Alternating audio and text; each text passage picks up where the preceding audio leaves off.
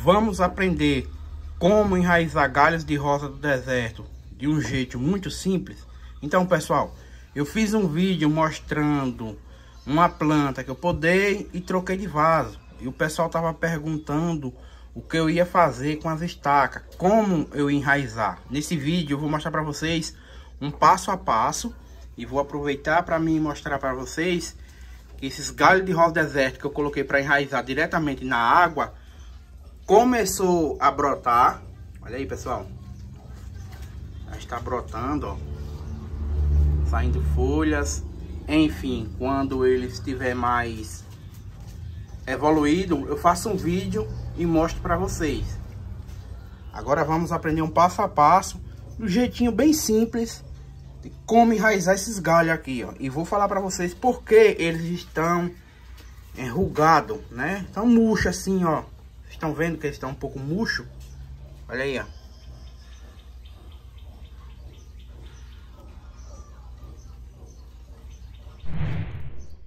Eu fiz uma poda nessa rosa do deserto. Aqui, como vocês estão vendo, ó. O local que eu cortei. Troquei de vaso. Essa grande aqui também, pessoal. Olha aqui, ó. Que eu podei. Tá?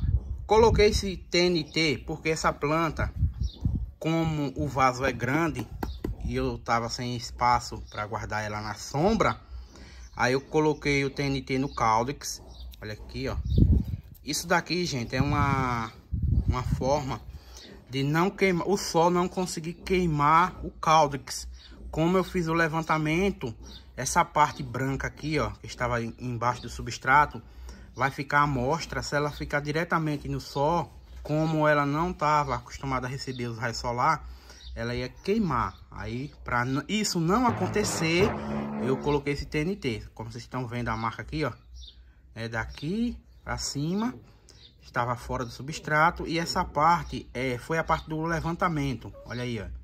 Vocês fazendo esse procedimento aqui, ó, vocês podem deixar sua rosa deserta no sol normalmente, que não vai queimar o cáldex. Então vamos lá. Primeiro passo, o que é que vocês têm que fazer? Vamos preparar a vasilha para colocar areia grossa de construção para enraizar aqueles galhos. Separei duas bandejas para mim colocar as estacas para enraizar. Essa é a primeira, essa daqui é a segunda. Vou enraizar de duas formas, vocês vão ver esses dois jeitos de enraizar galhos de rosa deserto. Um basicamente é um só para mostrar um teste para vocês que, que dá certo, porém é um pouquinho complicado, mas eu vou mostrar para vocês um passo a passo. Pessoal, essa bandeja como tem os furos um pouco grande, estão vendo? Se colocar areia grossa de construção com esses furos assim, quando você for molhar a areia, vai acabar saindo. Olha só. Então, para isso não acontecer, vocês cortam um TNT. Olha aí, pessoal. Coloca aqui embaixo, tá? Isso daqui é para ajudar para a areia não sair, ó. Vai ajudar a segurar a areia, pessoal. Não se preocupe que não vai acumular água, né? A água sai, sai normalmente. A mesma coisa nessa bandeja aqui, ó. Esse TNT é do mesmo que eu tava mostrando aí a planta para vocês. Coloca aqui. Aí, curti o TNT, ó. Bem simples. Agora vou pegar areia grossa de construção. O pessoal sempre tem dúvida. Cláudio, aonde encontrar areia grossa de construção? Que tipo de areia? Veja a areia que eu utilizo, tá, pessoal?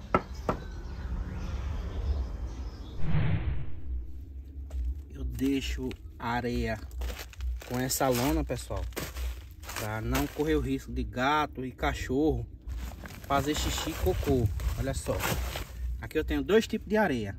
Tem essa areia que é média, não é muito grossa, e aqui por baixo tem uma areia que é mais grossa. Vou mostrar para vocês e eu vou pegar das duas. Primeiro, eu vou pegar dessa areia aqui, a mais fina, média, na verdade.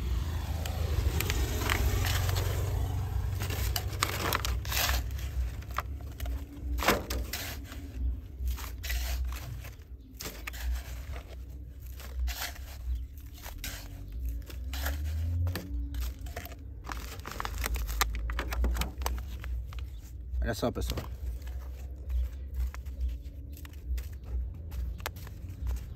Essa daqui é areia média.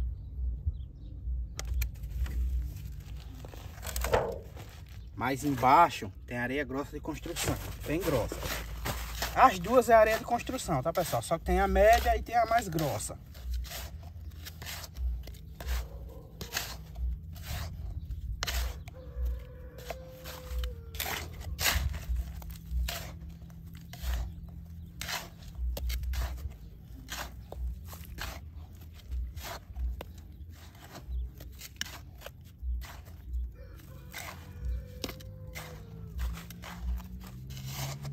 Aqui é a mais grossa, pessoal. Porque eu comprei, a primeira vez era uma areia grossa. Aí na segunda vez que eu fui comprar, o rapaz não tinha, só tinha dessa média. Aí eu mandei ele colocar por cima, pra ficar melhor. Tá vendo? Olha aí, ó.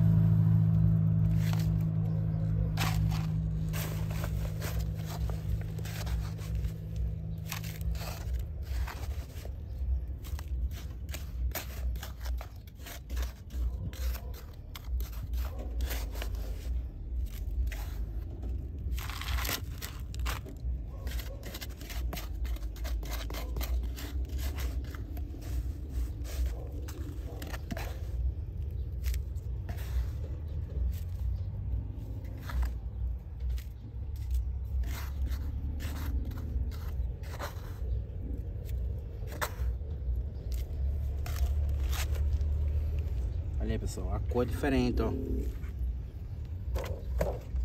Vou mostrar as duas para vocês verem que são bem diferentes. Olha aí, ó. Areia média e areia grossa.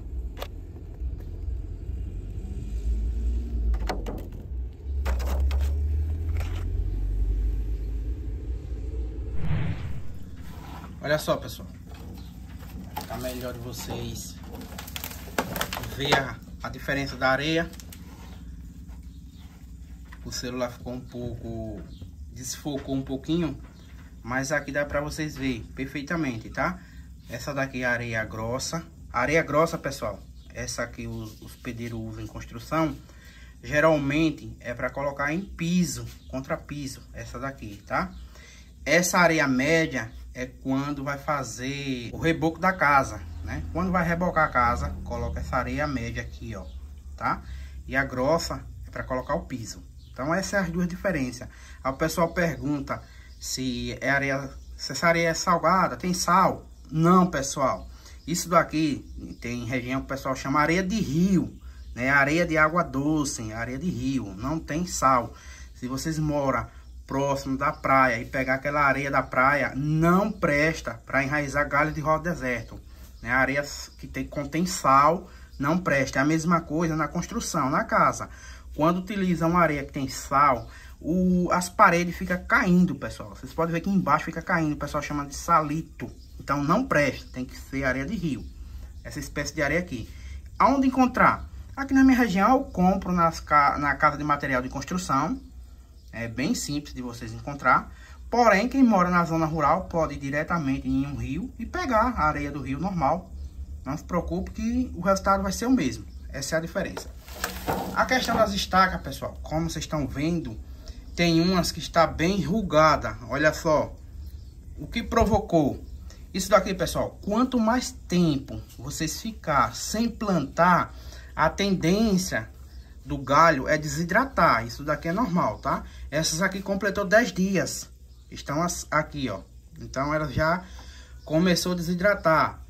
Tá no ponto bom para colocar para enraizar. Se vocês colocar para enraizar antes, não deixar 10 dias, ela não vai ficar meio enrugada. Olha aí. O ponto bom, pessoal, de 8 a 10 dias. Quando ela começa a ficar assim. Essa daqui não tem, pessoal. 8 dias, ó. Vocês podem ver ela tá bem diferente, ó. Esse aqui é outro galho de outra planta que eu podei, ó. Ela não desidratou.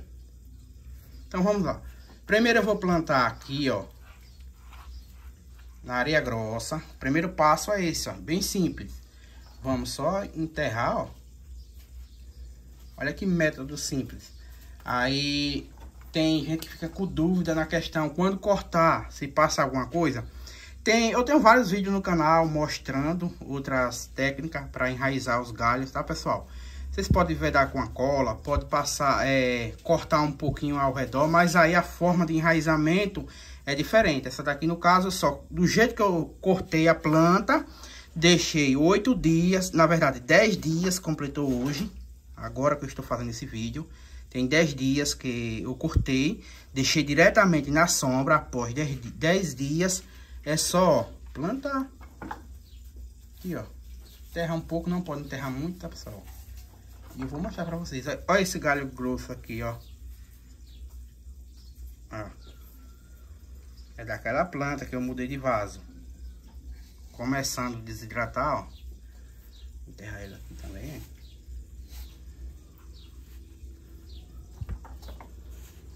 Vou atualizar vocês, pessoal. Como eu mostrei as que estão diretamente na água. Já começando a brotar.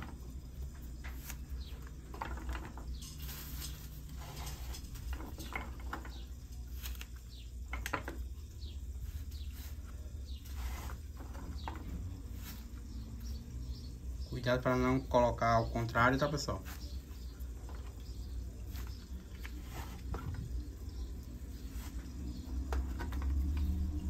Vendo que é simples?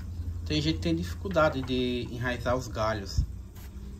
Fazendo isso daqui, pessoal. Ah, Cláudio, vai enraizar todos? Acontece, pessoal, de apodrecer, né? Nem tudo dá certo. Mas são poucos que apodrecem. O segredo é deixar de, no mínimo, no mínimo, sete dias sem plantar, pessoal. Passou de sete dias, é só você se colocar na areia assim, ó.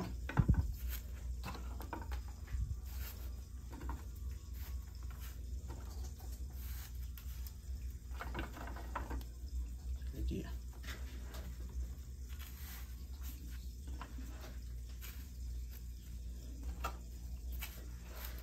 Após esse procedimento,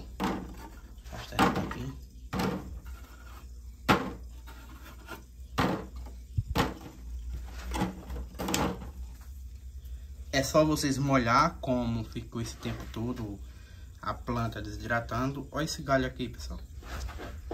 Tá até com botões, ó, desidratado. E mesmo assim ele ainda não expulsou os botões, ó.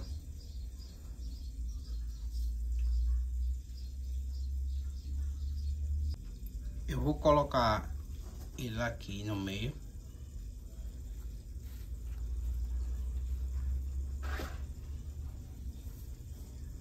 Deixa ela aí.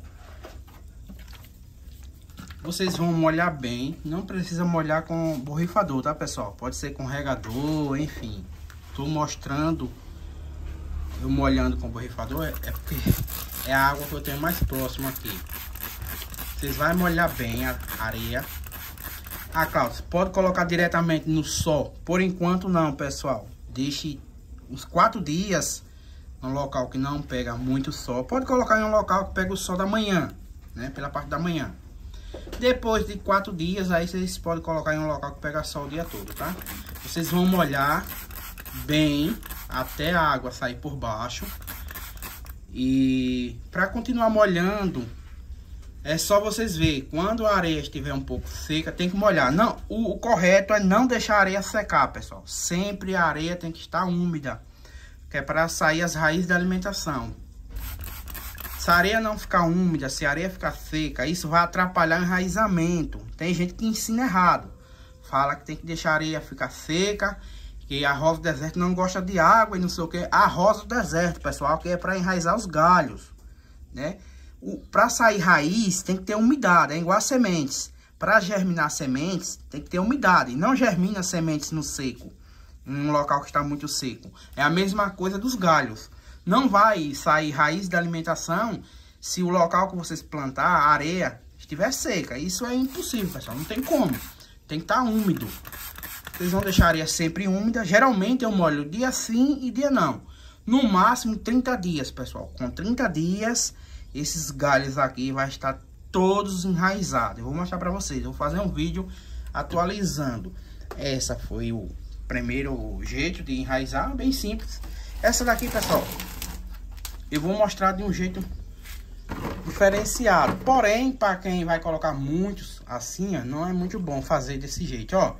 Simplesmente, vocês vão pegar, aí. Ó, pode ver que tá cortado meio torto, essa parte aqui, ó. De banda, ó.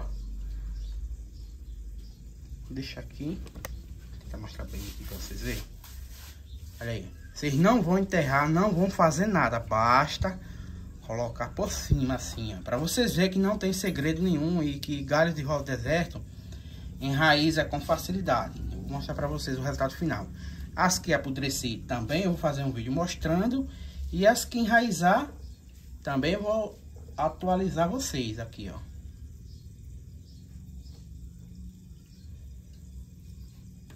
Após esse procedimento, ó,